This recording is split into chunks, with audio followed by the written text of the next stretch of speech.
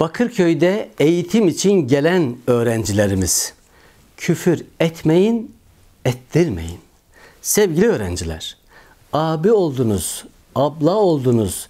Geleceği kendinizi hazırlarken bilgili öğrencilere küfür etmez, küfür ettirmez.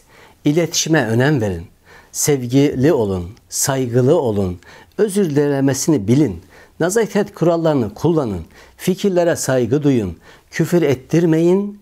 Başarılı öğrencilerimiz buluşmak, hayallerinizi adresini öğrenmek, röportaj yapmak, sizin geleceğiniz için röportaj yapalım, model olun, örnek olun, hayallerinizi gazetede paylaşalım, Google'da hikayeleriniz okunsun, sizin de bir anınız olsun, sizin de bir hikayeniz olsun.